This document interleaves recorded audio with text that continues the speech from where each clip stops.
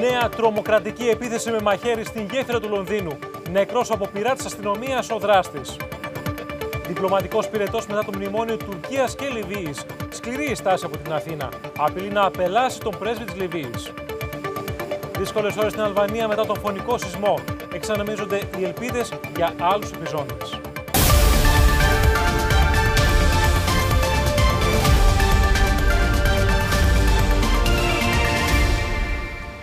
Καλησπέρα σας κυρίες και κύριοι. Παρακολουθείτε το δελτίο ειδήσεων από το One Channel. Νέο τρομοκρατικό χτύπημα σημειώθηκε στο κέντρο του Λονδίνου στη γέφυρα που ενώνει το κέντρο της Βρετανικής πρωτεύουσας με την νότια πλευρά του. Τρομοκρατημένοι πολίτες έτρεχαν να ξεφύγουν από τη μανία του δράστη, ο οποίος οπλισμένος με μαχαίρι είχε ήδη τραυματίσει πολλά άτομα, μέχρι βέβαια την στιγμή που έπεσε νεκρός από τα πειρά αστυνομικών. Ο δράστης φορούσε ένα γυλαίκο εκρηκτικών, το οποίο όμως αποδείχτηκε ότι ήταν ψεύτικο. Κοντά μας είναι η Ελευθερία Νταβατζή να μας δώσει όλες τις ε, περιγραφές και τις λεπτομέρειες του περιστατικού αυτού. Ελευθερία. Τα βίντεο που έρχονται στο φως της ε, δημοσιότητας συγκλονίζουν, καθώς έχει καταγραφεί η στιγμή που επεμβαίνουν οι αστυνομικές αρχές έτσι ώστε να, ε, να ακινητοποιήσουν τον δράστη. Ε, εδώ είναι το σημείο όπου οι πολίτες έχουν ακινητοποιήσει τον δράστη, ο οποίος προηγουμένως έχει προκαλέσει το επεισόδιο με το μαχαίρι, τραυματίζοντα αρκετούς. Παραμένουν αρκετοί από τους πολίτες πάνω από τον δράστη μέχρι η αστυνομία να καταφτάσει στο σημείο να τραβήξει ε, και τον τελευταίο πολίτη, ο οποίος ε, έμενε πάνω από τον ε, δράστη και τελικά να τον Βλέπουμε ε, πυροβολήσει. Ελευθερία στην διακόπτη ήταν ένας κύριος ε, πολίτης, ο οποίος φεύγει με το μαχαίρι, ένα πολύ μεγάλο μαχαίρι στα χέρια του, ε, απομακρύνεται και μετά αναλαμβάνει βεβαίως δράση η ένοπλη, το ένοπλο τμήμα της mm Βρετανικής αστυνομίας. Και εδώ είναι η χαρακτηριστική στιγμή που και το τελευταίος πολίτης απομακρύνεται από τον δράστη και ε, πυροβολούν οι αστυνομικές αρχές. Ε, επικράτησε πανικός ε, στην γύρω περιοχή. Η, διακοπή, η κυκλοφορία διακόπηκε αμέσως, έτσι ώστε να γίνουν οι απαραίτητοι έλεγχοι στη γύρω περιοχή για την περίπτωση που υπάρχει κάποιος ε, συνεργός του συγκεκριμένου δράστη. Και ώρες αργότερα ήρθε και η ανακοίνωση ε, των αστυνομικών αρχών, επιβεβαιώνοντας ότι είναι ένα τρομοκρατικό χτύπημα και βέβαια διαψεύδοντας τις πληροφορίες που είχαν αρχίσει να διαδίδονται ότι ήταν ζωσμένος με ένα γυλαίκο με εκρηκτικά, το οποίο, όπως ανέφερες και εσύ, ήταν τελικά ψεύτικο. Βέβαια, οι έρευνες συνεχίζονται. Έχουν τουλάχιστον Υπάρχει 20 ένα άτομο αυτή τη στιγμή σε κράτηση από την Βρετανική αστυνομία. Κρατείται ένα άτομο όντως, ενώ ακόμα 20 άτομα ε, έχουν μεταφερθεί σε παρακείμενο κτίριο, έτσι ώστε να ανακριθούν για το τι ακριβώς ε, είδαν κατά τη διάρκεια του περιστατικού. Ε, οι πληροφορίες τώρα αναφέρουν ότι μπορεί να υπάρχουν μέχρι και 10 τραυματίες, οι οποίοι όμως να μην έχουν προκληθεί από το, την ε, δράση του ε, συγκεκριμένου ατόμου που έχασε τη ζωή του από τα πειρά της αστυνομίας, αλλά και από τον πανικό που προκλήθηκε, καθώς δίπλα υπάρχει μια αγορά με πάρα πολύ κόσμο που ακούγοντας τον πυροβολισμό και όλες τις πληροφορίες πληροφορίες από στόμα σε στόμα, έσπευσαν να διαφύγουν και να γλιτώσουν. Και όλα αυτά, ελευθερία, να μην ξεχνάμε ότι γίνονται σε μια γέφυρα όπου έχουν σημειωθεί παρόμοια περιστατικά σε μια άλλη γέφυρα βέβαια, του Λονδίνου, mm. όχι σε μεγάλη απόσταση, περίπου είναι μισό μίλια από το σημείο αυτό. Και πάλι περίοδο Χριστουγέννων. Είχαμε λοιπόν ένα άλλο τρομοκρατικό χτύπημα, να θυμηθούμε, με ένα φορτηγάκι το οποίο έπεσε πάνω σε περαστικούς και τους είχε κάποιος τραυματίσει, αλλά είχαμε και νεκρούς. Και μέρα μεσημέρι. Ε, δύο η ώρα το μεσημέρι είναι μια ώρα όπου υπάρχει πάρα πολύ μεγάλη κίνηση ε, σε οδούς οι οποίοι συνδέουν διάφορες περιοχές, όχι μόνο στο Λονδίνο, αλλά και σε οποιαδήποτε άλλη ε, χώρα του κόσμου, αν ε, και συνέβαινε κάτι τέτοιο. Να συμπληρώσουμε ότι ο Μπόρις Τζόνσον έκανε μια ανακοίνωση σχετικά με το περιστατικό μετά και την συνέντευξη τύπου που παραχωρήθηκε από τους επικεφαλεί της αστυνομίας. Ανέφερε, θέλω να ευχαριστήσω τις υπηρεσίες άμεσης δράσης και τους πολίτες για το θάρρος που έδειξαν στην αντιμετώπιση της τρομοκρατικής αυτής επίθεσης στην γέφυρα του Λονδίνου. Είναι ένα αποτροπιαστικό περιστατικό και όλες μου οι σκέψεις είναι με τα θύματα. Η αλήθεια είναι ότι έχει προκαλέσει πάρα πολύ μεγάλο ενδιαφέρον το ε, αίσθημα ευθύνης που έδειξαν οι πολίτες που αντιμετώπισαν, που αντιλήφθηκαν ότι ο συγκεκριμένος άνθρωπος είχε πάνω του ένα γυλαίκο εκρηκτικών και θυσίασαν ε, και τη ζωή τους. Ε, μάλλον δέχτηκαν να θυσιάσουν ακόμα και τη ζωή τους για να τον ακινητοποιήσουν. Υπάρχει βεβαίως και η δήλωση του Δημάρχου του Λονδίνου, του κυρίου Σαντικάνου, ο οποίος μάλιστα επενεί τους αστυνομικούς που έδωσαν με τη δική τους έτσι ε, να το πω προσφορά, το βήμα αυτό ακριβώς για να μπορέσουν να αντιμετωπίσουν τον συγκεκριμένο δράστη. Να πάμε όμως να δούμε ελευθερία τι δήλωσε κυρίες και κύριοι ο Επίτροπος Αστυνομίας για το περιστατικό αυτό. Ένας άντρας έπεσε νεκρός από τους πυροβολισμούς των ειδικά εκπαιδευμένων αστυνομικών της πόλης του Λονδίνου. Ένας αριθμός πολιτών τραυματίστηκε. Είμαι σε θέση να επιβεβαιώσω ότι ήταν τρομοκρατικό περιστατικό. Αστυνομικοί της Αντιτρομοκρατικής Υπηρεσίας έχουν πλέον αναλάβει τις έρευνες. Μπορώ να επιβεβαιώσω ότι πιστεύουμε ότι ο μηχανισμός που βρέθηκε στο σώμα του δράστη είναι ψεύτικος. Συνεχίζουμε τις έρευνες στην περιοχή. Είμαστε τώρα συνδεδεμένοι ζωντανά με το Λονδίνο, με την Βρετανική πρωτεύουσα, εκεί που βρίσκεται η συνάδελφος η Πέννη Παπαδοπούλου, για να μας δώσει πληροφορίες σχετικά με το περιστατικό αυτό και να δούμε αν υπάρχει κάτι νεότερο, όχι μόνο για τον ίδιο Πέννη, αλλά και για άτομα τα οποία μπορεί να έδρασαν ως ε, συναυτουργοί. Γιάννη, σύμφωνα με τις τελευταίες πληροφορίες, εκτός από τον δράστη, τον οποίο πυροβόλησαν και σκότωσαν οι άντρες της ε, τα μέλη της ε, Μητροπολιτικής Αστυνομίας και μέλη της Αντιτρομοκρατικής Υπηρεσίας, ε, δύο πολίτες οι οποίοι νοσηλευόταν σε κρίσιμη κατάσταση υπέκυψαν στα τραύματά τους. Έτσι λοιπόν έχουμε τουλάχιστον δύο νεκρούς ε, από τη σημερινή τρομοκρατική επίθεση. Άρα λοιπόν συνολικά είναι τρία τα άτομα, τρεις νεκροί μαζί με τον δράστη. Τώρα πάμε να δούμε λίγο όμως ε, τι ακριβώς έγινε το χρονικό αυτή του σκηνικού, καθώς πρόκειται για μια ώρα η οποία ήταν ώρα εχμής. Το Λονδίνο ε, σφίζει από κόσμο αυτή την ώρα. Πάμε λίγο να μας περιγράψεις τι ακριβώς συνέβη και πώς φτάσαμε να έχουμε λοιπόν ε, έναν νεκρό ακριβώς από τα πειρά της αστυνομίας. Ε, στη 1 και 58 ε, ώρα Λονδίνου σήμερα το μεσημέρι, δηλαδή 3 και 58 ώρα Ελλάδος, στην περιοχή ε, της γέφυρας του Λονδίνου, London Bridge, ε, ένας δράστης, ο δράστης με μαχαίρι, ε, τραυμάτισε πολίτες, παραστικούς πολίτες, τον κυνήγησαν, ε, τον κυνήγησαν ε, κάποιοι άλλοι πολίτες, τον ακινητοποίησαν ε, και επενέβη άμεσα η αστυνομία η οποία τον πυροβόλησε και, το, και τον σκότωσε. Επικράτησε πανικό στην περιοχή. Η αστυνομία ε, προσπάθησε να απομακρύνει τους πολίτες που βρισκόταν επάνω στη γέφυρα αλλά και στα οχήματα τα οποία κινούνταν εκείνη τη στιγμή, στα λεωφορεία. Ε, όπως είπατε και εσείς, ε, η περιοχή είναι ε, πολυσύχναστη τόσο από ε, πολίτες αλλά και από τουρίστες. Υπάρχει μια ανοιχτή αγορά, αλλά και υπάρχουν πάρα πολλά γραφεία και η ώρα στην οποία διεξήχθη η τρομοκρατική επίθεση ήταν ε, ώρα στην οποία οι Βρετανοί, ακριβώς, στην οποία οι Βρετανοί ε, έχουν κάποιο διάλειμμα από τη δουλειά τους για να, ε, να, να, να γευματίσουν. Λοιπόν, ναι. ε, θέλω να σα ρωτήσω σε τι απόσταση από το Βρετανικό Κοινοβούλιο βρίσκεται αυτή η γέφυρα για να καταλάβουμε και το, την έκταση αυτή που έχουν πάρει πλέον οι τρομοκρατικές επιθέσεις γύρω από το κέντρο του Λονδίνου. Δεν είναι σε πολύ μεγάλη απόσταση. Με τον υπόγειο είναι γύρω στα 10 λεπτά. Με το μετρό είναι γύρω στα 10 λεπτά. Ε, είναι μερικές γέφυρες μακριά, περίπου μισό μίλι όπως είπες εσύ. Δηλαδή ε, είναι σχετικά μικρή η απόσταση. Υπήρχαν ε, αστυνομικές δυνάμεις στην περιοχή, υπάρχουν, δεδομένου ότι έχουμε πλέον παραδείγματα του παρελθόντος. Η, ε, το London Bridge ήταν περιοχή στην οποία πριν από δύο χρόνια είχαμε μια άλλη τρομοκρατική επίθεση, επίσης πολύ νεκρή. Υπάρχουν ισχυρές αστυνομικέ δυνάμεις στην περιοχή, γιατί ήθελα την άμεση ε, αντιμετώπιση την άμεση, επέμβαση, την άμεση επέμβαση της αστυνομίας.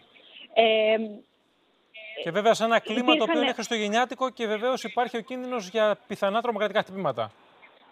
Προσπάθησαν βεβαίως τόσο ο Δήμαρχος του Λονδίνου αλλά και ο Πρωθυπουργός να καθησυχάσουν τον κόσμο. Μάλιστα, ο Δήμαρχος του Λονδίνου είπε ότι τα τελευταία χρόνια η αντιτρομοκρατική, ε, η αντιτρομοκρατική υπηρεσία κατάφερε να ε, αποτρέψει 20 περίπου περιστατικά τα οποία σχετίζονται με την τρομοκρατία. Ε, ο Μπόρις Τζόνσον ανακοίνωσε πριν από λίγο ότι προσωρινά διακόπτει η προεκλογική εκστρατεία, κάτι το οποίο είναι πολύ σημαντικό. Θα αξιολογήσει την κατάσταση για το πότε θα ε, συνεχιστεί η προεκλογική εκστρατεία. Σημαντική λοιπόν είδηση. Να ευχαριστήσουμε πολύ την Πέμπη Παπαδοπούλου. Κυρίες και κύριοι, να πάμε όμως σε μια έκτακτη ανακοίνωση από την Αμερικανική Πρεσβεία, η οποία προειδοποιεί σε βαθμό βεβαίως ένα σε ό,τι αφορά τις ε, επικείμενες χριστουγεννιάτικες διακοπές, ότι θα υπάρχει ε, σίγουρα λοιπόν θα πρέπει να είναι σε απόλυτη εγρήγορση όσοι επισκέπτες βρίσκονται στην Αθήνα και στην Ελλάδα πιο συγκεκριμένα, καθώς υπάρχει ο κίνδυνος για κάποιες επικείμενες τρομοκρατικές επιθέσεις από διάφορους οργανισμούς, κυρίως βεβαίως επικεντρώνεται σε πρόσωπα τα οποία αφορούν τον ISIS. Όλα αυτά προειδοποιεί λοιπόν η Αμερικανική Πρεσβεία ότι οι Αμερικανοί επισκέπτες που βρίσκονται στην Ελλάδα θα πρέπει να είναι ιδιαίτερα προσεκτικοί σε βαθμό, ξαναλέω, επίπεδου 1, προκειμένου να μην συμβεί κάποια ε, τρομοκρατική επίθεση ώστε να προστατευτούν. Επαναλαμβάνουμε ότι είναι μιας χαμηλής χαμηλού επίπεδου ε, προειδοποίησης από την Αμερικανική Πρεσβεία, όπως ήθιστε σε τέτοιες περιόδους και βεβαίως στην ε, περίοδο των Χριστουγέννων. Λοιπόν, να περάσουμε κυρίες και κύριοι όμως τώρα στην ε, Τουρκία και, την, και το θέμα της Λιβύης, το οποίο προέκυψε εχθές. Με μια λοιπόν κίνηση απροκάλυπτης επιθετικότητας, η Τουρκία προχώρησε στην υπογραφή μνημονίου κατανόησης με την αναγνωρισμένη κυβέρνηση της Λιβύης, αποδεικνύοντας για πολλωστή φορά ότι υλοποιεί τις εξαγγελίες της. Η ενέργεια αυτή ουσιαστικά αμφισβητεί και παραβλέπει οποιαδήποτε κυριαρχικά δικαιώματα της Ελλάδος νοτίω της Κρήτης, ασκώντας μάλλον πιέσεις για διεξαγωγή συζητήσεων. Η ελληνική πλευρά, όπως και η Κύπρος και η Αίγυπτος, απάντησαν άμεσα και σε σκληρή γλώσσα, ενώ ο Πρωθυπουργός Κυριάκος Μητσοτάκης, σε τηλεφωνική συνομιλία του με τον Γάλλο πρόεδρο Εμμανουέλ Μακρόν, του εξέθεσε τις προκλητικές ενέργειε της Τουρκίας μετά και την πρόσφατη υπογραφή μνημονίου με την Λιβύη. Σε ιδιαίτερα αυστηρό τόνο ήταν η διπλωματική αντίδραση της Αθήνας στην υπογραφή των μνημονίων κατανόησης που υπέγραψε η Τουρκία με τη Λιβύη. Ο Έλληνας Πρωθυπουργός επικοινώνησε με τον πρόεδρο της Γαλλίας, Εμμανουέλ Μακρόν. Ο Κυριάκος Μητσοτάκης, στην τηλεφωνική συζήτηση που είχε με τον Γάλλο ηγέτη, εστίασε ειδικά στις προκλητικές ενέργειες της Τουρκίας. Χθες, στο Υπουργείο Εξωτερικών κλήθηκε για εξηγήσεις ο πρέσβης της Τουρκίας. Η μόνιμη ιδέα αντιπροσωπεία της Ελλάδας στην Ευρωπαϊκή Ένωση ενημέρωσε σχετικά την αρμόδια επίτροπο κυρία Μογκερίνη. Σε φραστικό επίπεδο, εκπρόσωπος του Υπουργείου Εξωτερικών Αλέξανδρος Γεννηματάς σχολίασε σχετικά. Η υπογραφή μεταξύ της Τουρκίας και της Λιβύης μνημονίου κατανόησης δεν μπορεί να παραβιάζει τα κυριαρχικά δικαιώματα τρίτων χωρών. Μια τέτοια ενέργεια θα παραβίαζε κατάφορα το διεθνές δίκαιο της θάλασσας και δεν θα παρήγε ένομα αποτελέσματα. Επιπλέον, μια τέτοια ενέργεια δεν θα συμβάδιζε με την αρχή της καλής γειτονίας που θα πρέπει να διέπει τις σχέσεις μεταξύ γειτονικών χωρών. Τα μνημόνια αυτά έρχονται λίγες μόνο ημέρες μετά την επιστολή της Τουρκίας στον ΟΗΕ με τις συντεταγμένες που θεωρεί πως είναι τα όρια της υφαλοκρηπίδας της στην Ανατολική Μεσόγειο. Ένας χάρτης επί της ουσίας που παραβλέπει τα δικαιώματα της Κύπρου αλλά και της Ελλάδας μέσω των υφαλοκρηπίδων Καστελορίζου, Ρόδου και Κρήτης. Για αυτόν τον λόγο, ο Έλληνας Υπουργός Εξωτερικών Νίκος Δένδιας χαρακτήρισε αυτή την τουρκική κίνηση ως παντελώς αγιογράφητη και στα όρια της φεδρότητας. Το θετικό για την Αθήνα είναι ότι την εξέλιξη αυτή καταδίκασαν άμεσα τόσο η Λευκοσία αλλά και κυρίως το Κάιρο. Σύμφωνα με το Κυπριακό Υπουργείο Εξωτερικών, το μνημόνιο συναντήληψης δεν έχει και δεν παράγει καθιονδήποτε τρόπο οποιαδήποτε ένομα αποτελέσματα που να επηρεάζουν τα νόμιμα δικαιώματα της Κυπριακής Δημοκρατίας ή άλλων παράκτιων κρατών. Τέτοια οριοθέτηση, αν γινόταν, θα συνιστούσε σοβαρή παραβίαση του διεθνούς δικαίου, καθώς θα παραγνώριζε τα νόμιμα δικαιώματα άλλων παράκτιων κρατών της Ανατολικής Μεσογείου και θα ήταν αντίθετο με την αναγνωρισμένη αρχή της Σύμβασης του Δικαίου της Θάλασσας και του Εθιμικού Δικαίου για τα δικαιώματα των νησιών σε ΑΟΣ και υφαλοκρηπίδα. Και η Αίγυπτος όμως ήταν κάθετη ως προς το μνημόνιο της Τουρκίας με τη Λιβύη. Αυτές οι δύο συμφωνίες δεν έχουν καμία επίδραση ή αντίκτυπο στα δικαιώματα των χωρών της Μεσογείου ή στα θαλάσσια σύνορα στην περιοχή της Μεσογείου. Η Άγκυρα, ωστόσο, συνέχισε και σήμερα τις προκλήσεις, αμφισβητώντας το δικαίωμα της Αθήνας να δεσμεύει περιοχές ανατολικά της Καρπάθου, που είναι πάνω στον νοητό άξονα του μνημονίου που υπέγραψε με τη Λιβύη, ενώ παράλληλα προχώρησε στην έκδοση παράτυπων Ναύτεξ για την περιοχή μεταξύ Ρόδου και Καστελορίζου και νοτιοανατολικά της Λίμνου. Συνδεδεμένοι τώρα με τον συνάδελφο στην Κωνσταντινούπολη, τον Ανδρέα Ρομπόπουλο, για να δούμε όλες τις εξελίξεις που υπάρχουν από την πλευρά της Τουρκίας για το θέμα αυτό. Ανδρέα, γιατί φαίνεται ότι έχουμε και μια προκλητική πλέον επίθεση του κυρίου Ερντογάν στον Γάλλο Πρόεδρο. Ο κ. Ερντογάν έγινε έξαλλος, Γιάννη, με την δήλωση του κυρίου Μακρόν ότι η Τουρκία δεν μπορεί να περιμένει την υποστήριξη των συμμάχων της όταν επιχειρεί μόνη της εντός της Συρίας χωρίς να ρωτήσει κανέναν. Ο κύριος Ερντογάν, ενθυμούμενος στις δηλώσεις που είχε κάνει ο κύριος Μακρόν για εγκεφαλικό θάνατο του ΝΑΤΟ, είπε στον κύριο Μακρόν να κοιτάξει μήπως έχει επέλθει το δικός του εγκεφαλικός θάνατος. Και συνέχισε. Ποιος είστε εσείς, κύριε Μακρόν, που θα αποφασίσετε αν η Τουρκία θα μείνει εντός ή εκτός του ΝΑΤΟ; Τα ίδια θα επαναλάβω και στη διάσκεψη που θα γίνει στο Λονδίνο. Καταλαβαίνετε ότι ο κύριος Ερντογάν είναι έξαλλος και επιτέθηκε με αυτόν τον τρόπο στον κύριο Μακρόν. Ούτως ή άλλως δεν έχουν και τις καλύτερες σχέσεις τον τελευταίο καιρό. Ανδρέα, να σε ρωτήσω όμως για το πώς ακριβώς υποδέχτηκαν τα τουρκικά μέσα αυτό το μνημόνιο συναντήληψης, όπως χαρακτηρίστηκε, μεταξύ Τουρκίας και Λιβύης. Αυτό το μνημόνιο σήμερα απασχόλησε αρκετά τον τουρκικό τύπο. Είχαμε συγκεκριμένα δημοσιεύματα. Κάποια από αυτά έλεγαν ότι το περιεχόμενο αυτού του μνημονίου θα ισχύσει αφού κυρωθεί στην τουρκική εθνοσυνέλευση. Κάποια άλλα έλεγαν αφού κατατεθεί στα Ηνωμένα Έθνη. Καταλαβαίνετε ότι ούτε το ένα ούτε το άλλο δεν φαίνεται να ισχύουν. Από την άλλη όμως πρέπει να τονίσουμε ότι κανένα από αυτά τα δημοσιεύματα δεν απέδιδε τις πληροφορίες τους σε αξιωματούχους του τουρκικού κράτους, της τουρκικής κυβέρνησης, όπως και δεν είχαμε και καμία δήλωση από αξιωματούχους ε, της τουρκικής κυβέρνησης. Από την άλλη, είχαμε ε, διαδοχικά σε διάφορα μέσα ενημέρωσης Τούρκους αναλυτέ να λένε ουσιαστικά το, το στόχο που είχε αυτή η κίνηση που έκανε η Τουρκία μαζί με τη Λιβύη έλεγαν ότι η, με, αυτή, με αυτή την, ε, τον καθορισμό, με, αυτή, με αυτό το μνημόνιο, πλέον η Τουρκία καταχαιρώνει τα δικαιώματά της σε αυτή την περιοχή και εμποδίζει την περίπτωση στην οποία η Ελλάδα θα υπέγραφε μια συμφωνία με την Κύπρο και θα μπορούσε να τέμνεται η ΑΟΣ της Ελλάδας με την Κύπρο. Ανδρέα Ρομπόπουλες, ευχαριστούμε πολύ. Να πάμε όμως, κυρίες και κύριοι, να δούμε ποια είναι η αντίδραση από την Ευρωπαϊκή Ένωση, καθώς υπήρξε μια πολύ συγκεκριμένη φραστική καταδίκη της προκλητικής ενέργειας της Τουρκίας. Συνδεδεμένοι λοιπόν τώρα είμαστε με τον συνάδελφό μας, τον Σαράντη Μιχαλόπουλο από τις Βρυξέλλες, ο οποίος θα μας δώσει πληροφορίες ακριβώς για αυτή την, μπορούμε να πούμε, σκληρή αντίδραση από την Ευρωπαϊκή Ένωση και λίγο παραπάνω. Γιάννη είναι πάρα πολύ εκνευρισμένη η Κομισιόν με τον Ερντογάν και τις δηλώσεις του. Συγκεκριμένα, εκπρόσωπος της Ευρωπαϊκής Επιτροπής είπε στο ΟΑΝ ότι η Τουρκία πρέπει να σεβαστεί το διεθνές δίκαιο και τις σχέσεις καλής γειτονίας και να αποφύγει κάθε είδους απειλή ή ενέργεια που θα θέσει σε κίνδυνο τις ε, σχέσεις καλής γειτονίας και την ελληνική διαθέτηση διαφορών. Όσον είπε, έκαναν επίσης αναφορά και στις 15 Ιουλίου του 2019 στο Συμβούλιο που έγινε, το οποίο κατέστησε σαφές ότι η οριοθέτηση αποκλειστικών οικονομικών ζωνών και της υφαλοκρηπίδας πρέπει να αντιμετωπιστεί με διάλογο και διαπραγμάτευση, καλή την πίστη, με πλήρη σεβασμό του διεθνούς δικαίου και σύμφωνα με την αρχή των σχέσεων ε, καλής ε, γειτονίας. Τέλος, ναι. έγινε και μια αναφορά στην έκθεση του 2019 ότι πρέπει να αποφύγει κάθε είδους ενέργεια που θα θέσει σε κίνδυνο την ασφάλεια στην Ανατολική Μεσόγειο. Δυστυχώς όμως, ε, Σαράντη, το μόνο το οποίο λαμβάνουμε την Ευρωπαϊκή Ένωση είναι καταδίκες φραστικές. Λοιπόν, σε ευχαριστούμε πολύ. Να πάμε κυρίες και κύριοι τώρα να δούμε όμως ποια είναι η αντίδραση του Ελληνικού Υπουργείου Εξωτερικών, το οποίο ετοιμάζεται να μιλήσει και να απαντήσει με σκληρή γλώσσα απέναντι τόσο στην Τουρκία αλλά και στην Λιβύη. Ο Μαρίνος Γκασιάμι θα μας δώσει πληροφορίες, καθώς φαίνεται ότι υπάρχει απειλή ενδεχομένως για μια απέλαση του Λίβιου πρέσβη στην Αθήνα.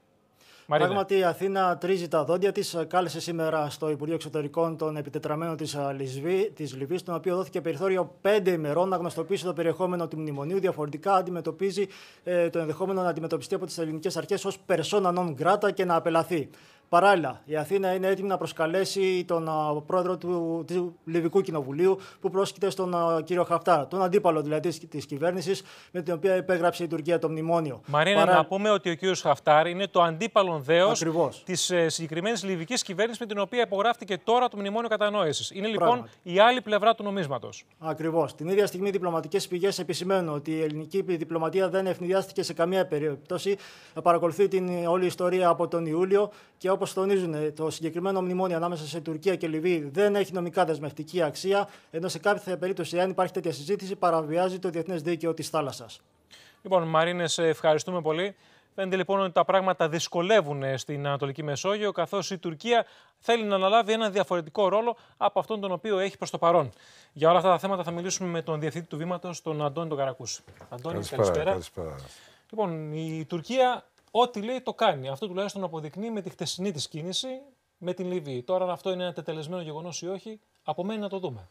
Ναι, επιχειρεί να οργανώσει αυτό που λέμε και να διαμορφώσει τετελεσμένα γεγονότα. Αυθαιρετεί εμφανώς, προσπαθεί να χαράξει μια νοητή γραμμή μεταξύ Μαρμαρίδας και της, του ιστορικού λιμανιού του το Μπρουκ και να δημιουργήσει έτσι αποκλεισμούς. Ουσιαστικά τι κάνει, προσπαθεί να ενώσει την τουρκική μελλοντική ΑΟΣ με την αντίστοιχη λιβική. Να εφάπτονται οι δύο, ώστε να αποκλειστεί... Να μην υπάρχει περιθώριο ουσιαστικά. Να, αποκλειστεί, να περιοριστεί μάλλον η ελληνική... Ε, Ενδεχομένως αποκλειστική οικονομική ζώνη. Η οποία θα είναι νότια της Κρήτης, βασικά παρεμβαίνει στο Λιβικό, παρεμβαίνει στο Αιγαίο με την ίδια νοητή γραμμή που είπαμε προηγουμένως και αποκλείει ουσιαστικά την Αίγυπτο να, να συνδεθεί μάλλον και να λειτουργήσει η συμφωνία που ετοιμάζεται μεταξύ Αιγύπτου και Ελλάδας. Αυτό είναι το σχέδιο και αυτή είναι η παγίδα που, των τετελεσμένων που προσπαθεί να οργανώσει και να στήσει ο Ορντογάν στην ευρύτερη περιοχή. Βασικά δηλώνει ότι χωρίς την Τουρκία δεν μπορεί να γίνει ε, εκμετάλλευση υδρογονανθράκων στην Νοτιοανατολική Μεσόγειο. Αυτό είναι το στρατηγημά του και αυτός είναι ο σκοπός του. Το και ερώτημα είναι αν αυτό μπορεί να το εφαρμόσει όμως πρακτικά, δεδομένου ότι προς το παρόν τουλάχιστον νομικά σε διεθνές επίπεδο κάτι τέτοιο δεν φαίνεται να έχει ερίσματα. Ναι, ο ίδιος όμως η Τουρκία, όπως γνωρίζουμε, δεν έχει υπογράψει τη συνθήκη για το δίκαιο της θάλασσα. το δίκαιο της θάλασσας. Άρα μπορεί να μην δεσμεύεται ή να χρησιμοποιεί άλλα στοιχεία ή άλλες υποθέσεις ε, ή άλλα αποτελέσματα νομικά σε, σε άλλες περιοχές του κόσμου και να τις τοποθετεί και να τις ερμηνεύει όπως ε, νομίζει και όπως θεωρεί. Είπα προηγουμένως ότι είναι μια παγίδα, μια παγίδα τετελεσμένων. Συμφωνία δεν υπάρχει, υπάρχουν μνημόνια συνεργασίας, τα οποία να δούμε τι χαρακτηριστικά ακριβώς έχουν. Το ζήτημα είναι αυτό νομίζω το, το κύριο, ότι αυτός πιστεύει ότι πρέπει να πάει σε συμφωνίες διμερείς με, τις, με όλες τις εμπλεκόμενες χώρες στην περιοχή για να αποκτήσει τα περισσότερα δυνατά κέρδη και ωφέλη από αυτή την υπόθεση. Την δήλωση και αυτό κάνει, αυτό επιχειρεί αυτή τη στιγμή νομίζω. Η δήλωση το κάνει με τρόπο επιθετικό, δυναμικό. Απόλυτα του, του έχει βγει από τη ιστορία της Συρίας, έτσι όπως εξελίχθηκαν τα πράγματα με όλη αυτή την σύγκρουση και τα παζάρια με τον Τραμπ και με τους Ρώσους και γενικώς θεωρεί ότι πέτυχε στην υπόθεση της Συρίας και πιστεύει λοιπόν ότι με τον ίδιο τσαμπουκά και με την ίδια μέθοδο θα πετύχει και στην Ανατολική Μεσόγειο. Μάλιστα. Ένα τελευταίο σχόλιο θέλω μόνο για τον Ερντογάν και ακριβώς τον χαρακτηρισμό τον οποίο απέδωσε στον Γάλλο Πρόεδρο. Ε, είναι μόνιμη η διαφορά το τελευταίο καιρό ανάμεσα στον ε, Ερντογάν και στον Μακρόν. Θυμήθηκε μια αναφορά του Γάλλου Προέδρου για το ΝΑΤΟ. Το ΝΑΤΟ είναι εγκεφαλικό νεκρό, εγκεφαλικά νεκρό και ουσιαστικά του αντιγύρισε και του είπε ότι εσείς είστε ε, εγκεφαλικά νεκρός. Εντάξει, είναι ένταση στις σχέσεις με τη Γαλλία εδώ και πολύ καιρό. Συγκρούονται οι, όλες τα συμφέροντά τους στην περιοχή. Δεν ταιριάζουν και ως πολιτικές κουλτούρες και φυσιογνωμίες και νομίζω ότι αυτό θα έχει κάποια συνέπεια. Εκεί ελπίζει και η ελληνική πλευρά ότι θα μπορέσει επιτέλους να βρει κάποιο τύπου υποστήριξη από τις ευρωπαϊκές χώρες οι οποίες όλα τα προηγούμενα χρόνια τηρούσαν μια στάση ουδετερότητας η οποία κατέληγε να είναι ευμενής υπέρ της Τουρκίας. Αντώνη Καρακούσης, σε ευχαριστούμε πολύ που ήσουν κοντά μας. Πάμε κυρίες και κύριοι να αλλάξουμε όμως θέμα και να περάσουμε στην Αλβανία, η οποία ακόμη και σήμερα, τέταρτη μέρα, μετράει τις πληγέ μετά τον φωνικό σεισμό που χτύπησε το Δυράχιο αλλά και το Θουμάν. Να συνδεθούμε τώρα αμέσως με τον συνάδελφο τον Λεωνίδα Καπερναράκο, ο οποίος βρίσκεται εκεί από την πρώτη στιγμή, αλλά και τον Θάνο Σωτήρη, ο οποίος θα μας δώσει τις δικές πληροφορίες για το θέμα ε, αυτό, καθώς είχαμε και την επιστροφή της ΕΜΑΚ των ανθρώπων εκείνων που πήγανε να βοηθήσουν την, ε, στην ανέβρεση των εγκλωβισμένων. Πάμε όμως πρώτα στον Λεωνίδα Καπερναράκο να μας μεταφέρει τα τελευταία νεότερα από τις έρευνες ε, στο Δυράχιο και το Θουμάν. Καλησπέρα και από το Δυράχιο. Η αυλαία έπεσε όσον αφορά τις διασώσεις ή ανασύσεις τομάτων από τα ερήπια. Το, το τελευταίο, η τελευταία έρευνα που έγινε ήταν στο Μιαμάρε, ένα ξενοδοχείο λίγα μέτρα μακριά από εδώ που βρισκόμαστε, όπου υπήρχε μια λάθος πληροφόρηση όσον αφορά για μια κοπέλα που μεταδίδαμε τις προηγούμενες ώρες, ότι ένα σκυλί από το Μαυροβούνιο, μαζί με τον διασώστη του, κάτι είχε μυρίσει, κάτι είχε βρει. Ξεκίνησε μια απίστευτη διαδικασία εδώ, ήρθε μια ερπιστριοφόρα μπουλντόζα, ε, ε παραμέρισε κάποια μπάζα, ήταν εντολή από τους Γάλλους και τους Ιταλούς διασώστες, τελικά δεν υπήρχε πτώμα κάτω από τα χαλάσματα. Οπότε θα πρέπει πλέον να λέμε με σιγουριά ότι ε, οι διασώστες έχουν αποχωρήσει από όλα τα συντρίμια και πλέον μπορούμε να πούμε ότι τελείωσαν εδώ και οι έρευνες και μένουμε στον αριθμό από τις διασώσεις που ήταν περίπου 40 με 45 ότι πλέον έπεσε η αυλία και μείναμε στους 49 νεκρούς. Μάλιστα. Πίσω μου όμως ναι. έχουμε την επόμενη ημέρα. Τι σημαίνει η επόμενη, επόμενη μέρα, για αυτούς λοιπόν οι οποίοι Λεωνίδα έχουν μείνει σε σκηνές, σε καταβλισμούς, αναζητούν την ελπίδα και βέβαια περιμένουν και κάποια ανθρωπιστική βοήθεια η οποία φτάνει από κάθε σημείο της Ευρώπης αλλά κυρίως από την Ελλάδα. Η ανθρωπιστική βοήθεια και τα φάρμακα που θα έρθουν αύριο στα, στα νοσοκομεία εδώ, να ξέρετε ότι μας ευγνωμονούν και για την ΕΜΑΚ που άκουσα, που άκουσα πριν. Θα σας πω μόνο μια ιστορία που μου είπε ένας ε, Αλβανός πολίτης εδώ, ο οποίος έμενε σε μια οχταόροφη πολυκατοικία, για να δείτε δηλαδή και την εικόνα των ανθρώπων που ξεσπιτώθηκαν. Μου λέει χαρακτηριστικά ότι δανείστηκε, ότι χρεώθηκε από παντού και πλήρωσε ένα διαμέρισμα σε μια οχταόροφη πολυκατοικία. Μόλις πέρυσι ε, τοποθετήθηκα τα σασέρ. Ξεκίνησε να χτίζεται το 2014, ουσιαστικά πέρυσι το 2018 ε, ολοκληρώθηκε. Τώρα δεν μπορούν να μείνουν και είναι ένα από τα κτίρια, όπως βλέπετε και πίσω μου, το Villa Verde, ένα άλλο ξενοδοχείο, είναι ένα, ένα από τα δέκα κτίρια τα οποία θα πρέπει αμέσως μετά, δηλαδή τις επόμενες ημέρες, να πέσουν ε, από τις ε, μπουλντόζες, να γίνουν και αυτά συντρίμια. Καταλαβαίνετε λοιπόν την απόγνωση του κόσμου εδώ, όταν Υπάρχουν άνθρωποι που ούτε καν χάρηκαν το διαμέρισμα το οποίο αγόρασαν. Από εκεί και πέρα υπάρχουν άλλοι που δεν μπορούν να πάνε ούτε σε καταβλισμό, δεν τους βοηθά μας είπαν το κράτος και μένουν στο πλατήσκαλο έξω στην είσοδο μιας πενταόροφης παράδειγμα πολυκατοικίας που και αυτή είναι έτοιμη να καταρρεύσει. Από εκεί και πέρα στους καταβλισμούς ναι. συνεχώς Στους καταβλισμούς, λοιπόν, αυτή η ανθρωπιστική, η ανθρωπιστική βοήθεια επαρκεί για να καλύψει τις ανάγκες των ανθρώπων που βρίσκονται εκεί, γιατί εχθές είχαμε καταγγελίες ακόμη και για κλοπή της ανθρωπιστικής βοήθειας. Και εδώ έχουμε ακούσει ε, αρκετά παραδείγματα, αρκετοί άνθρωποι μας είπαν περί κλοπών. Δεν μπορούμε βέβαια αυτό να το διασταυρώσουμε εδώ, το είδαν όμως μας είπαν με τα μάτια τους. Πάντως, ανθρωπιστική βοήθεια φτάνει συνεχώς. Συνεχώς ερχόμενοι από τα Τύρανα ή από το Θουμάν μέχρι και εδώ το Δυράχιο βλέπουμε κομβόι από στατιωτικά φορτηγά να μεταφέρουν από κουβέρτες και τρόφιμα, μακαρόνια κυρίως και αλεύρι, μέχρι ε, χιλιάδες συσκευασίες με νερού. Ότι υπάρχει ανθρωπιστική βοήθεια υπάρχει. Το ζήτημα είναι, επαναλαμβάνω, όσον αφορά τους καταβλισμούς, να φτιαχτούν υποδομές. Γιατί καταλαβαίνετε ότι μέχρι και πριν από ένα 24ωρο μιλούσαμε για 3, 4, 5.000 ε, αστέγους. Τώρα μιλάμε για 10.000 και.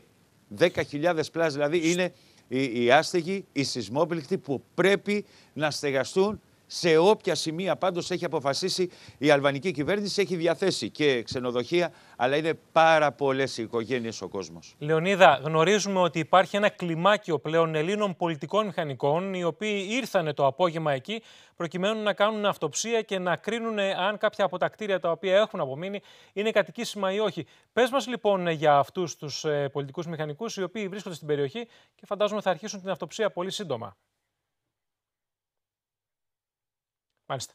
Θα μπορέσουμε βεβαίως να έχουμε τη δυνατότητα να μιλήσουμε αργότερα με τον συνάδελφο. Να έρθουμε τώρα, Θάνο Σωτήρη, όμως σε εσένα και να δούμε τι ακριβώς ε, σου μετέφεραν ε, τα μέλη της ΕΜΑΚ, οι οποίοι βρέθηκαν στην Αλβανία από την πρώτη στιγμή και σήμερα επέστρεψαν στην ε, Αθήνα. Σήμερα πριν από λίγη ώρα επέστρεψαν λοιπόν οι 26 άνδρες της πρώτης ΕΜΑΚ μαζί με δύο η νομοσύνη των Αλβανών όμως κυρίως έφεραν κάποιες ιστορίες που μας αφηγήθηκαν και που περιγράφουν βέβαια τη φρίκη τέτοιων καταστάσεων. Όπως για παράδειγμα αυτό που τους έμεινε, που όταν τους ρωτήσαμε τι ήταν αυτό που τους έμεινε, ήταν η απελπισμένη προσπάθεια που έκαναν να σώσουν έναν άνθρωπο κάτω από τα συντρίμια για έξι ολόκληρες ώρες, Μάλιστα, παρόλους τους μετασυσμούς έμεναν δίπλα του, κάτι που απαγορεύεται αυστηρά από το πρωτόκολλο σε τέτοιες περιπτώσεις για την ασφάλεια των πυροσβεστών και μετά από έξι ολόκληρες ώρες που του κρατήσαν το χέρι και ήταν μαζί τους, τον έχασαν. Από την άλλη πλευρά ένιωθαν ευτυχείς και, και περήφανοι που ανέσυραν δύο ανθρώπους ζωντανούς μέσα από τα συντρίμια και όπως μας είπαν ε, οι επικεφαλείς των ομάδων αυτών, αυτή είναι, αυτό είναι και το μεγάλο ψυχολογικό πρόβλημα που έχουν σε τέτοιες περιπτώσεις αυτοί οι άνθρωποι, τα στελέχη της ΕΜΑΚ, ότι από τη μία μεριά από τη χαρά πάνε στην λύπη και πρέπει όλο αυτό να το διαχειριστούν και να το αντιμετωπίσουν ώστε να είναι αποτελεσματικοί και να προσφέρουν όσο το δυνατόν ε, περισσότερη βοήθεια μπορούν. Λοιπόν, Θάνος Σωτήρης, σε ευχαριστούμε πολύ. Να δούμε κυρίες και κύριοι όμως τι δήλωσαν ορισμένα από τα στελέχη της ΕΜΑΚ. Νομίζω ότι η πιο δύσκολη στιγμή ήταν επίσης όταν μετά από πολλές ώρες βοήθειας προς τον άνθρωπο με τον δεύτερο ζωντανό που βρήκε η δική μας ομάδα κάποια στιγμή χάθηκε, έχασε τις αισθήσεις του. Ε, δεν θέλαμε να πιστέψουμε ούτε ότι ήταν ή δεν ήταν ζωντανός ή νεκρός. Κάποια παιδιά ε, έμειναν μαζί του ακόμα και σε πολύ μεγάλους μετασυσμούς. Δεν φύγαν από δίπλα του, ενώ θα έπρεπε. Οι κανόνες ασφαλείας λένε έξω. Μείναν μέσα. Δυστυχώς τα πράγματα δεν έρχονται πάντα όπως θα θέλουμε. Σε καμία περίπτωση δεν θέλαμε να τον εγκαταλείψουμε. Ε, έγινε το, το παν, το ό,τι ανθρωπίνος δυνατόν για να τον βγάλουμε ζωντανό. Ε, σε καμία των περιπτώσεων δεν θα τον αφήναμε. Ε, πάντα υπήρξε, υπήρχε άνθρωπος ασφαλείας ο οποίος μας ενημέρωνε για μετασυσμούς, για όλο το περιβάλλον το επικίνδυνο. Ε, κρίναμε ότι μπορούμε να πάρουμε κάποια ρίσκα, τα πήραμε. Δυστυχώς όμως ε, δεν καταφέραμε να τον βγάλουμε γρήγορα εν ζωή. Κυρίες και κύριοι, κόβουν την ανάσα οι εικόνες της καταστροφής που κατέγραψε η κάμερα του One Channel, η οποία βρέθηκε στην Αλβανία λίγες ώρες μετά το χτύπημα του Εγκέλαδου. Καταστραμμένα κτίρια, χαλάσματα, πόνους και θλίψη στα πρόσωπα των ανθρώπων κυριαρχούν όπου και αν η τηλεοπτική κάμερα γυρίσει. Πριν τον καταστροφικό σεισμό, στεκόταν επιβλητικό στο κέντρο του Βυραχείου. Σήμερα το ξενοδοχείο Μίραμάρε είναι μια άμορφη μάζα από μπάζα και σίδερα που έγινε φωνική παγίδα για τους άτυχους ενίκους του. Οι εικόνες που κατέγραψε ο απεσταλμένος του One Channel Λεωνίδας Καπερναράκος κόβουν την ανάσα. Μια μεγάλη ερπιστριοφόρα μπουλντόζα έφτασε εδώ στο Μία Μάρε, στο εξαόροφο ξενοδοχείο, προκειμένου να απομακρύνει τα μπάζα μετά από εντολή των γαλλικών σωστικών συνεργείων. Λίγες ώρες πριν, Ιταλοί και Γάλλοι διασώστες επιχειρούσαν να ανασύρουν μια άτυχη νεαρή γυναίκα που είχε θαυτεί κάτω από τα ερήπια του ξενοδοχείου. Γάλλοι διασώστες με ειδικά εκπαιδευμένα σκυλιά αναμένεται σε λίγα λεπτά να ξεκινήσουν έρευνες στα συντρίμια του Μία Μάρε. Πληροφορίες λένε ότι βρίσκεται εγκλωβισμένη μια κοπέλα. Και το ξενοδοχείο όμως, στον κεντρικό παραλιακό δρόμο, το Via Verde, πρέπει να κατεδαφιστεί. Βρισκόμαστε στον προάβλιο χώρο ενός άλλου ξενοδοχείου, το Via Verde. Βλέπετε τι ζημιές έχει υποστεί από το σεισμό. Εδώ ήταν η κεντρική είσοδος. Βλέπετε εδώ ότι έχει καταρρεύσει όλη, ενώ το υπόλοιπο ξενοδοχείο που ήταν τετραόροφο έχει γύρει προς την πλευρά της θάλασσας. Δεν είναι όμως το μοναδικό ξενοδοχείο στο Δυράχιο που καταστράφηκε ολοσχερός από το χτύπημα του Εγκέλαδου. Αυτό είναι το ξενοδοχείο Λιουμπιάνα. Ένα από αυτά που χτυπήθηκαν από τον ισχυρό σεισμό των 6,4 βαθμών της κλίμακας Ρίχτερ.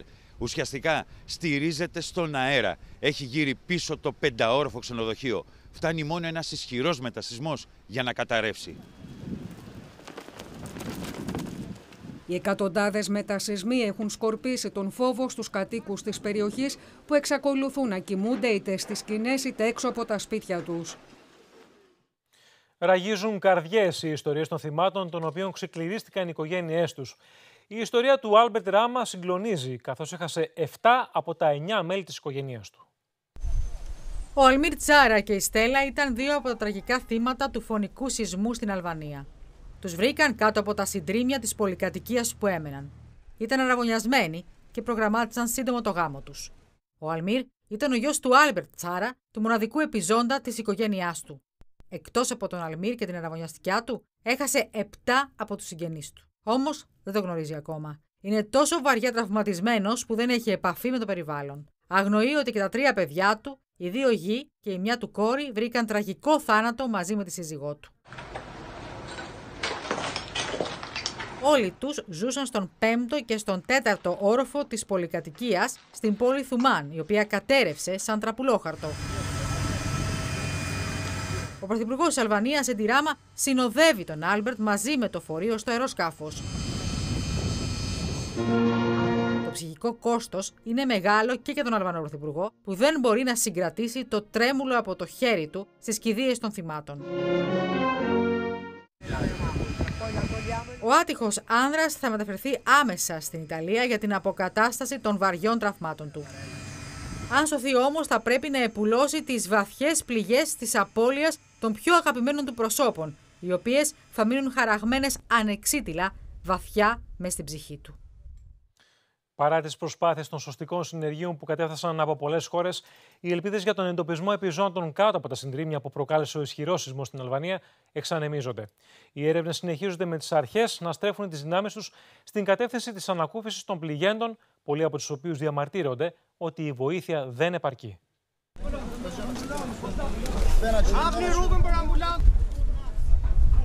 Διασώστες μεταφέρουν έναν άνδρα σε ασθενοφόρο στο Δυράχιο.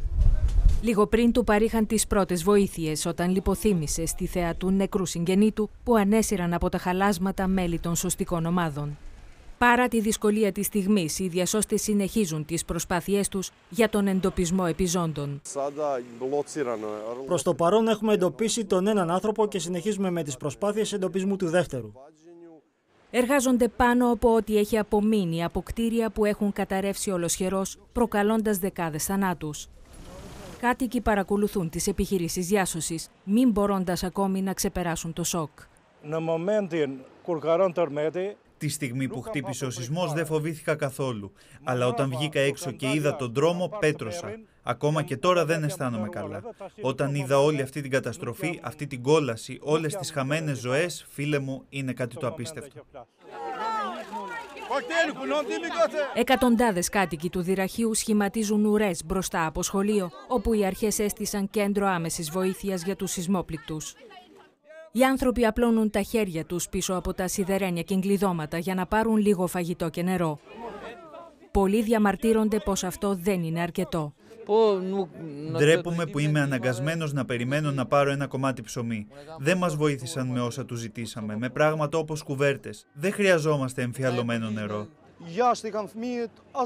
Τα παιδιά μου είναι έξω χωρίς φαγητό, ρούχα και σκεπάσματα. Έχουμε καταστραφεί. Πήγα στο Δήμο και έκανα εγγραφή, όμως κανείς δεν λέει πώς θα πάρουμε τη βοήθεια. Έχω σοβαρό πρόβλημα. Δείτε το σπίτι μου, είναι κατεστραμμένο. Η αίθουσα γυμναστικής του σχολείου έχει μετατραπεί σε προσωρινό καταφύγιο για τους ανθρώπους που έχασαν τα σπίτια τους από το σεισμό. Εξουθενωμένοι και σκεπτικοί, οι άνθρωποι έχουν ξαπλώσει πάνω στα στρώματα. Μεταξύ τους υπάρχουν και πολλά παιδιά. Σύμφωνα με τις αρχές, μόνο στο Δυράχιο έχουν καταγραφεί σοβαρές ζημιές σε 700 σπίτια. 12 έχουν καταστραφεί πλήρως, ενώ σε σχεδόν 200 πολυκατοικίες έχουν εντοπιστεί μεγάλες ρογμές. Αξίζει βέβαια να πούμε ότι έχουν ήδη μεταφερθεί και δύο ε, κινητά μαγειρία του στρατού, τα οποία θα παρέχουν τουλάχιστον 300 μερίδες φαγητού στους ε, Αλβανούς συμπολίτες μας. Μουδιασμένοι κυρίες και κύριοι και σε απόλυτη ανησυχία όμως βρίσκονται οι κάτοικοι των πόλεων, όπου χτύπησε ο σεισμός την Τρίτη το ξημέρωμα στους πρόχειρα στημένους καταβλισμούς. Από την πρώτη στιγμή άρχισαν να συγκεντρώνονται ήδη πρώτη ανάγκη χάρη στο κύμα αλληλεγγύης που καταγράφεται. Ωστόσο, οι σεισμόπληκτοι καταγγέλνουν εκλοπές της ανθρωπιστικής βοήθειας και έλλειψη οργάνωσης. Υπό τον συνεχή φόβο που προκαλούν οι μετασυσμοί, οι κάτοικοι των δύο πληγωμένων πόλεων, του Δυραχείου και του Θουμάν, προσπαθούν να βρουν καταφύγιο στους καταβλισμούς που οργάνωσε ο στρατός σε γήπεδα και ανοιχτούς χώρους. Οικογένειες με μικρά παιδιά και γέροντες καταγράφονται από υπαλλήλους του Υπουργείου Εσωτερικών προκειμένου να εφοδιαστούν ανάλογα με τις ανάγκες τους. Δεν ξέρουμε τι θα κάνουμε μετά από αυτό, τι θα συμβεί με το σπίτι μας, αν θα κατεδαφιστεί. Δεν ξέρουμε τι θα φέρει το αύριο. Οι άστεγοι όμως είναι πολλοί και οι πρόχειρες στρατιωτικές δομές δεν μπορούν να ανταποκριθούν, με αποτέλεσμα να επικρατεί το αδιαχώρητο. Έξι από εμάς τριμωχτήκαμε στο αυτοκίνητο και σχεδόν δεν κοιμηθήκαμε. Ήταν ασφικτικά. Έπρεπε να κοιμηθούμε εκεί γιατί δεν υπάρχει θέση για να μπούμε σε σκηνή. Κάναμε δήλωση και περιμένουμε να μας βάλουν. Σε αυτή την κατάσταση που επικρατεί στους καταβλισμούς, ακόμα και η διανομή της ανθρωπιστικής βοήθειας που έχει φτάσει στην Αλβανία από όλο τον κόσμο γίνεται με δυσκολία.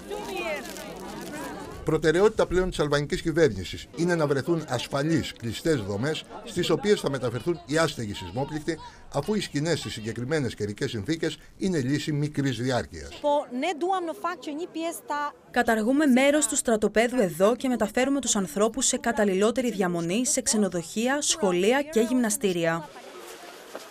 Στο μεταξύ, οι αλβανικά μέσα ενημέρωσης μεταδίδουν πληροφορίες σύμφωνα με τις οποίες έχουν παρατηρηθεί φαινόμενα πλιάτσικους στις προμήθειες που έχουν φτάσει στη χώρα ως ανθρωπιστική βοήθεια.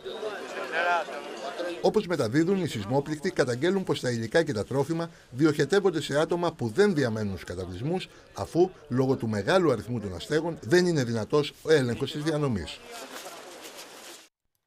Κυρίες και κύριοι, να αλλάξουμε θέμα τώρα στο δελτίο μας και να πάμε στο 13ο συνέδριο της Νέας Δημοκρατίας, το οποίο μάλιστα ξεκίνησε πριν από λίγες ώρες, ενώ αναμένεται να διαρκέσει μέχρι και την Κυριακή 1 Δεκεμβρίου. Στην τηλεφωνική μας γραμμή έχουμε τον συνάδελφο τον Γιάννη Χριστάκο για να μας πει νεότερα από το συνέδριο, αλλά και ορισμένα από τα κομμάτια της ομιλίας του Πρωθυπουργού του κ. Μητσοτάκη. Γιάννη. Γιάννη, καλησπέρα. Μια ομιλία επικεντρωμένη στον άνθρωπο, την κοινωνία, τις ανάγκες των πολιτών, αλλά και την ανάγκη να υπάρξει επιτέλους στην Ελλάδα ένα σύγχρονο κράτος που να τους διευκολύνει. Πραγματοποίησε ο Κυριάκος Μητσοτάκης στο 13ο συνέδριο της Νέας Δημοκρατίας. Ο Πρωθυπουργός Γιάννη αναφέρθηκε στο ιδεολογικό πλαίσιο μέσα στο οποίο τοποθετεί και το κόμμα και την κυβέρνηση και όπως είπε είναι ο πολιτικός φιλελευθερισμός, τον οποίο συνδέει με την κοινωνική αλληλεγγύη. Μάλιστα, χρησιμοποίησε αρκετές φορές την έννοια προοδευτική πολιτική για να περιγράψει τον πυρήνα του μεταρρυθμιστικού έργου της κυβέρνησης και εξηγώντας ότι αυτά είναι πραγματική πρόοδος για τους πολίτες στη σύγχρονη Ελλάδα και όχι αυτά που επικαλείται ο ΣΥΡΙΖΑ ή άλλοι πολιτικοί αντίπαλοι. Τώρα για την επικαιρότητα, Γιάννη, αναφερόμενος σε όσα έγιναν με τις ε, διοικήσεις των, ε, των διοικητών των νοσοκομείων, τις τοποθετήσεις τους, είπε ότι δεν θα εξισώσουμε λίγες και μικρές αστοχίες με τα πολλά και μεγάλα εγκλήματα του παρελθόντος, αλλά πρώτος εγώ θα αναγνωρίσω τα λάθη, τι αστοχίες και θα τα θεραπεύσω. Επίσης, Γιάννη, ο Πρωθυπουργός έστειλε μήνυμα στην Τουρκία, λέγοντας ότι α, όσοι αμφισβητούν τα κυριαρχικά δικαιώματα της χώρας θα μας βρουν απέναντι και εμάς και τους Ευρωπαίους, ενώ μίλησε και για, την, ε, και για το άσυλο στα πανεπιστήμια, αλλά και για τις αλλαγές στο μεταναστευτικό, το μεγάλο πρόβλημα της χώρας, λέγοντας ότι φυλάσσονται πια τα σύνορα, υπάρχει νέο καθεστώς ασύλου το οποίο θα αποδώσει από το νέο έτος και κλείνουν οι δομές της ντροπής ανακουφίζοντας τα νησιά. Γιάννη Χριστάκος, ευχαριστούμε πολύ. Εμείς κυρίες και κύριοι, πάμε να δούμε ορισμένα αποσπάσματα από την ομιλία του Κυριάκου Μητσοτάκη. Για την επιθετική στάση της Τουρκίας, τη διαχείριση των μεταναστευτικών ροών, την προώθηση διεθνών ενεργειακών σχημάτων. Στα μέτωπα αυτά, πηξίδες μας παραμένουν το διεθνές δίκαιο. Για την επιθετική στάση της Τουρκίας, τη διαχείριση των μεταναστευτικών ροών, την προώθηση διεθνών ενεργειακών σχημάτων. Στα μέτωπα αυτά, πηξίδες μας παραμένουν το διεθνές δίκαιο και όσοι βιάζονται να αμφισβητούν με τρόπο θεσμικά σαθρό τα κυριαρχικά μας δικαιώματα να γνωρίζουν ότι θα βρουν απέναντί τους όχι μόνο την Ελλάδα αλλά και τους Ευρωπαίους συμμάχους μας. Φάρος μας λοιπόν πρέπει να παραμείνει η αλήθεια και η ειλικρίνεια. Δεν θα κρύψουμε από το λαό τις δυσκολίες που συναντάμε. Ούτε θα αρνηθούμε ολιστήματα. Κάποια από τα τελευταία μάλιστα, εγώ πρώτος και θα αναγνωρίσω και θα σπέσω να θεραπεύσω. Απ' την άλλη όμως, απ' την άλλη όμως, ποτέ δεν θα εξισώσουμε τις λίγες και μικρές αστοχίες του παρόντος με τα πολλά και τα μεγάλα εγκλήματα του παρελθόντος γιατί δεν είμαστε όλοι το ίδιο και το αποδείξαμε στην πράξη. Συστατικό όμως της ιδεολογίας μας, κύριος άξονας, θεμέλιο πάνω στο οποίο στηρίζουμε όλες τις πολιτικές μας είναι η κοινωνική αλληλεγγύη. Δεν επιτρέπεται να στέκεται αδιάφοροι μπροστά σε ανισότητες που διευρύνονται.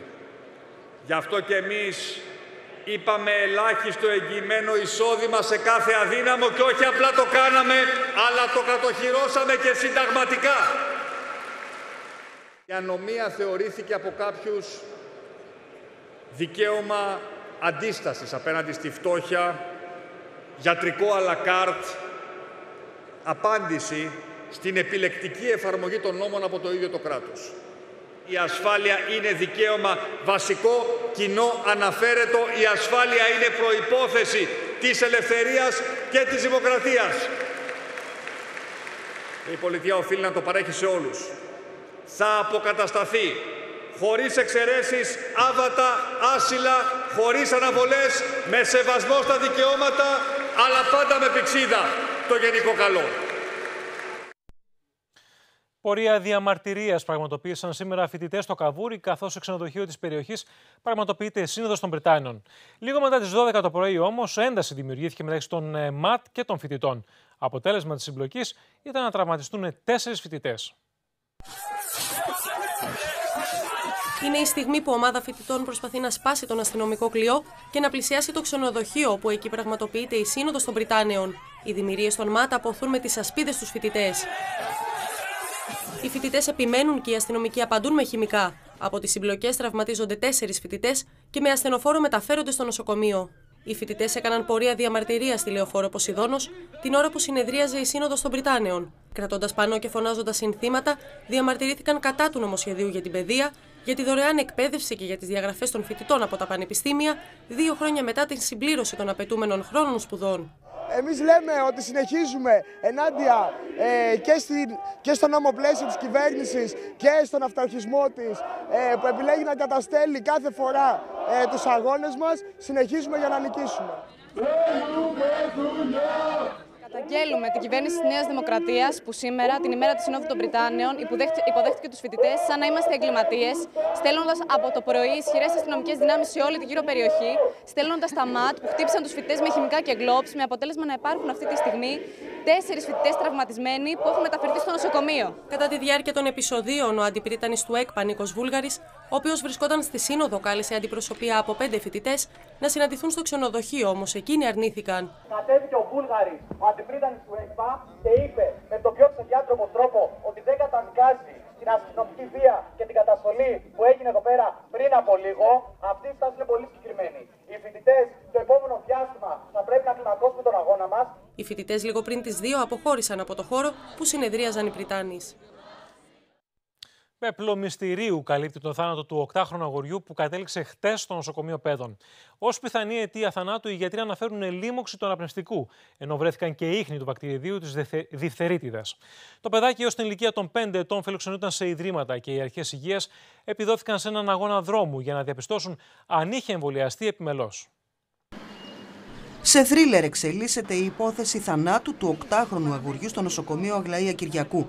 Το αγοράκι κατέληξε ύστερα από τέσσερις ημέρες νοσηλείας και αρχικά διέρευσε ότι έπασχε από διφθερίτιδα και ότι ήταν ανεμβολίαστο. Το άτυχο παιδί μέχρι τα 5 του χρόνια ζούσε σε ιδρύματα.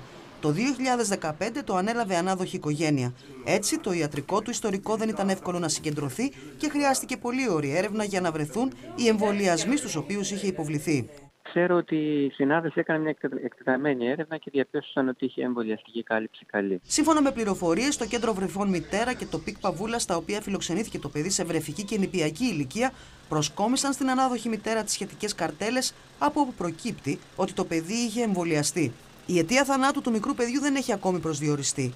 Ω πιθανή αιτία αναφέρεται η οξία λίμωξη του αναπνευστικού, πνευμονική υπέρταση και πνευμονικό είδημα, κάτι που θα πρέπει να διευκρινιστεί από τις εργαστηριακές εξετάσεις. Όσο για το βακτηρίδιο της διθερίτιδα που βρέθηκε στις καλλιέργειες, είναι σε τέτοιο σημείο, βαθμό και ποσότητα που δεν μπορεί ακόμη να διευκρινιστεί αν πρόκειται για εκδήλωση της ασθένειας, για μια ελάχιστη αντίδραση του οργανισμού σε μη εμβολιασμό ή ακόμη και σε πλήρη εμβολιασμό ή για αμεληταία σημασία εμφάνιση του βακτηριδίου χωρίς καμιά συνέπεια στην κλινική κατάσταση του παιδιού.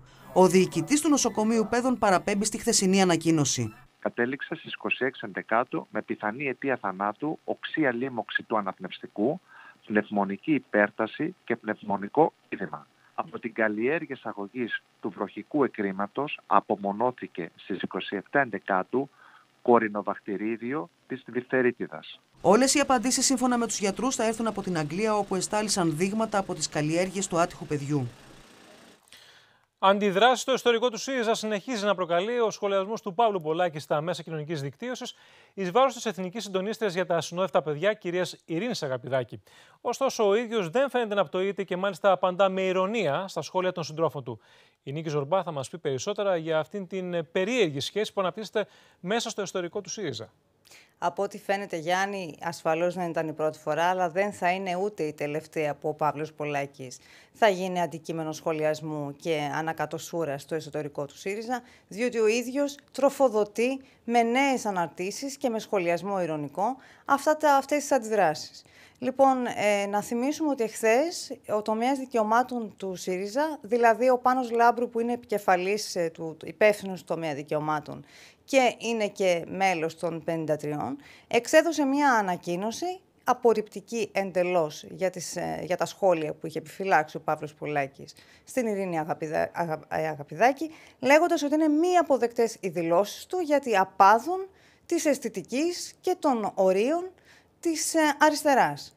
Από εκεί και πέρα ο ίδιος δεν μαζεύτηκε, ε, αντιθέτως πέρασε στην αντεπίθεση με ηρωνία, με νέα του ανάρτηση στο facebook, ε, ε, έβαλε ένα, ανήρτησε ένα τραγούδι του Παπαλάμπρου την αυλή. Ένα βουκολικό τραγούδι ακριβώς, ναι. Ακριβώς και είπε ότι για όποιον κατάλαβε, κατάλαβε, ε, σημασία έχει ότι εγώ ακολουθώ τις βουκολικές αξίες, την ελευθερία και τη λεβεδιά και όλα αυτά τα οποία ούτως ή άλλως στον ΣΥΡΙΖΑ υπάρχει στο ιστορικό μια πολύ μεγάλη συζήτηση για το αν αυτά πράγματι ε, είναι οι αρχές που εκπροσωπεί ο Παύλος Πολάκης και αν μπορούν να συμπορευτούν και να ταυτιστούν με το ήθος και το ύφος που θέλει να ακολουθήσει Κομμουνδούρου. Νίκη, παρόλα αυτά όμως, ο κ. Πολάκης ε, αυτή τη στιγμή χαίρει ακόμη της εκτίμησης και της υποστήριξης του κυρίου Αλέξη Τσίπρα. Γιάννη, αυτό είναι δεδομένο, είναι εκ των όνου κάνευ. Δεν έχει, δεν έχει αλλάξει κάτι στη μεταξύ του σχέση. Απλώς ο κύριος Τσίπρας είναι φορές που έρχεται σε εξαιρετικά δύσκολη θέση, διότι πρέπει να, δεν μπορεί να ελέγξει πάντα τον αντίκτυπο των δηλώσεων και της συμπεριφοράς του κυρίου Πολάκη. Ωστόσο, δεν έχει διαραγεί η μεταξύ τους σχέση, ούτε η μεταξύ τους εμπιστοσύνη. Νίκη Ζορμπά, Θες να ολοκληρώσουμε κάτι ακόμη; Θα έλεγα ότι έχει ένα ενδιαφέρον ότι αύριο πραγματοποιείται σηκώνει αυλαία η πρώτη κεντρική επιτροπή ανασυγκρότησης του ΣΥΡΙΖΑ. Ε, να θυμίσουμε ότι είναι μια κεντρική επιτροπή, ένα, ένα όργανο καινούριο που έχει προκύψει με μια συγχώνευση Κεντρικής Επιτροπής ΣΥΡΙΖΑ και Προοδευτικής Συμμαχίας, αριθμοί περίπου 600 μέλη. Τα νέα μέλη είναι επί της ουσίας προερχόμενα από τις ε, τάσεις του Πασόκ. Υπάρχει, το, εκπροσωπείται το παλιό Παπανδρεϊκό Πασόκ, το κοινωνικό λεγόμενο, αλλά και το σημητικό. Αύριο ανοίγει με μια πανηγυρική εκδήλωση. Θα, οι, οι εργασίες ξεκινούν με ομιλία του Αλέξη Τσίπρα. Θα πραγματοποιηθεί στο ΣΕΦ και μάλιστα στην αίθουσα Μελίνα Μερκούρη. Έχει και αυτό τη σημειολογία του, την μάλιστα. πασοκική.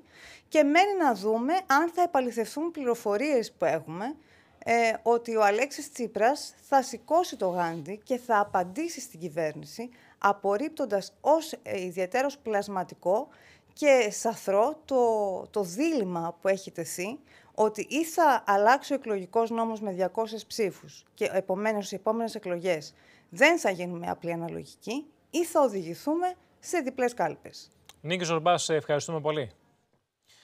Τώρα, την τιμητική τους έχουν σήμερα τα μαγαζιά λόγω της ημέρας προσφορών Black Friday. Οι, οι εκτόσεις αλλά και οι προσφορές προσέλκυσαν τους καταναλωτές, αν και η ημέρα κύλησε χωρίς να υπάρχουν μεγάλες ουρές στα μαγαζιά, όπως πέρσι. Την μεγαλύτερη βέβαια ζήτηση είχαν τα καταστήματα με ηλεκτρονικά είδη.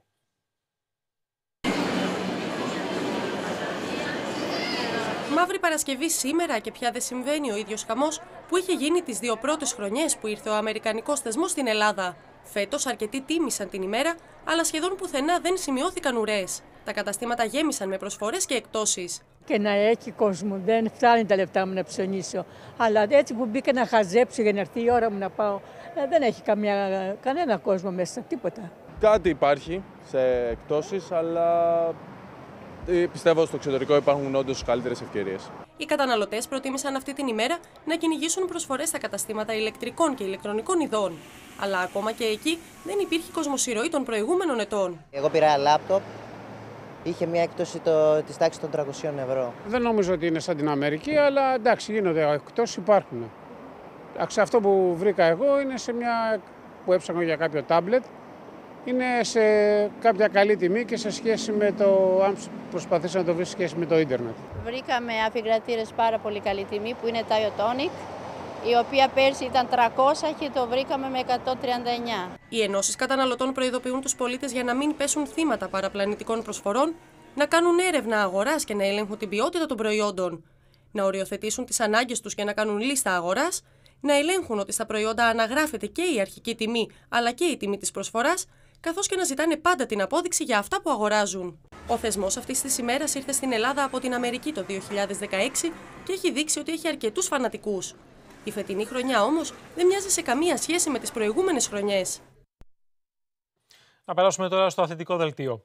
Ο Ολυμπιακός επανέλαβε τις θέσεις του, αλλά και παρουσίασε αποδείξεις για την κατάσταση που επικρατεί στο ελληνικό ποδόσφαιρο και την σημερινή διοίκηση της ΕΠΟ. Σε συνάντηση, μάλιστα, που, είχε, που είχαν εκπρόσωποι του με τον Υφυπουργό Αθλητισμού, τον κύριο Λευτέρη Αβγενάκη. Μάλιστα, ο Υφυπουργός απάντησε και στην ανέτεια επίθεση που δέχθηκε από τον ΠΑΟΚ για την απόφασή του να συναντήσει την αντιπροσωπεία των Ερυθρολεύκων. Την παρέμβαση της πολιτείας για όσα συμβαίνουν στην ΕΠΟ του Βαγγέλη Γραμμένου ζήτησε ο Ολυμπιακός από τον Υφυπουργό Αθλητισμού Λευτέρη Αυγενάκη.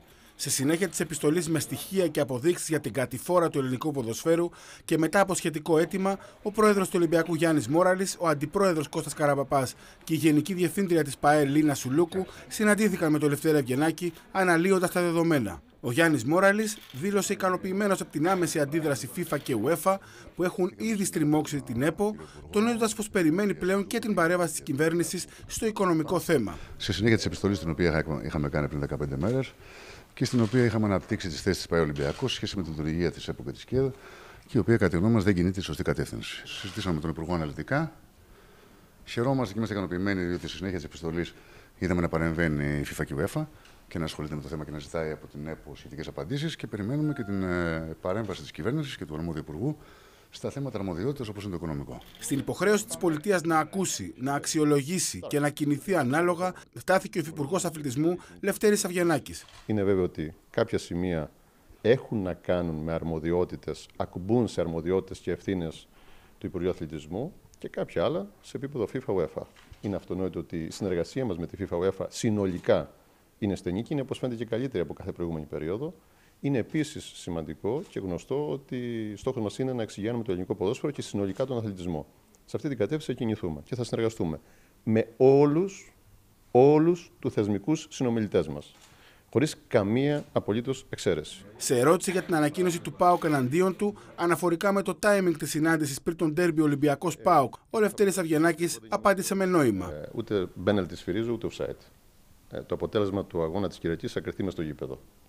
Από εκεί και πέρα, ε, ως πολιτικός προϊστάμενος, ε, έχω υποχρέωση να ανταποκρίνομαι σύμφωνα με τις υποχρεώσεις που έχω και το πρόγραμμα το οποίο έχω, άμεσα και χωρίς καμία καθυστέρηση. Εγώ καταλαβαίνω ότι μέρες, ώρες που είναι, υπάρχει μια νευρικότητα, αλλά από εκεί και πέρα, παρακαλώ πάρα πολύ, ο Υπουργός Αθλητισμού να μένει έξω από το κάδρο. Στον Ολυμπιακό πλέον αναμένουν τις κινήσεις του Υφυπουργού Αθλητισμού Λευτέρη Αυγενάκη στην γενικότερη προσπάθεια που γίνεται για την πραγματική εξυγίανση του ποδοσφαίρου μας.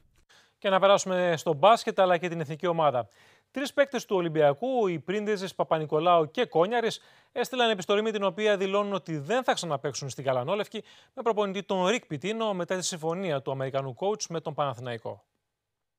Άνω κάτω γίνεται η εθνική ομάδα μπάσκετ, καθώς τρεις εν ενεργεία διεθνείς του Ολυμπιακού αποφάσισαν να απέχουν από αυτήν λόγω της συμφωνίας του Ρικ Πιτίνο με τον Παναθηναϊκό. Οι Πρίντεζης, Παπανικολάου και Κόνιαρης, με επιστολή τους στην Ομοσπονδία, κάνουν γνωστό ότι δεν επιθυμούν να αγωνιστούν στο αντιπροσωπευτικό μας συγκρότημα, ισχυριζόμενοι ότι ο νέος Ομοσπονδιακός Τεχνικός συμφώνησε να δουλέψει παράλληλα στο τριφύλι, ενώ τους είχε διαβεβαιώσει ότι δεν θα το έκανε. Εμείς ήμασταν πάντα ενάντια στην κόντρα του Ολυμπιακού με τον Παναθηναϊκό. Ήμασταν πάντοτε παρόντες στην εθνική ομάδα, αλλά δεν μπορούμε να βρισκόμαστε στη μέση. Αν δεν αλλάξει κάτι άμεσα στο θέμα του προπονητή, εμείς δεν θα μπορούμε να είμαστε μέλη της ομάδας. Λίγη ώρα αργότερα, ο Ρικ Πιτίνο με γραπτή δήλωσή του απάντησε σε όσα του καταμαρτυρούν οι τρεις διεθνείς του Ολυμπιακού. Όταν συναντήθηκα με τους δύο παίκτες του Ολυμπιακού, δεν υπήρχαν ανοιχτές θέσεις εργασίας για εμένα ώστε να κοουτσάρω. Έχω μεγάλο σεβασμό για όλες τις ομάδες στην Ελλάδα. Η εθνική ομάδα δεν έχει σχέση με μια αντιπαλότητα, αλλά με το να αγωνίζεσαι και να τιμάς τη χώρα σου. Θα επιλέξω 12 παίκτες που θα μου δώσουν σπουδαία προσπάθεια για να μας βοηθήσουν να φτάσουμε στη νίκη. Κατόπιν τούτων, έχει ενδιαφέρον να δούμε με ποια σύνθεση θα παραταχθεί η Εθνική στο προολυμπιακό τουρνουά που θα γίνει από 23 έως 28 Ιουνίου του 2020 και αν θα υπάρξουν και άλλοι παίκτες που θα ακολουθήσουν το παράδειγμα των τριών. Και σε αυτό το σημείο το δελτίο μας έφτασε στο τέλος του. Ακολουθεί η εκπομπή Νέες Εποχές με τον Γιάννη Διαμαντή και αμέσως μετά Citizen One με τον Κώστα Γιανακίδη. Να έχετε ένα πολύ όμορφο βράδυ. Γεια σας.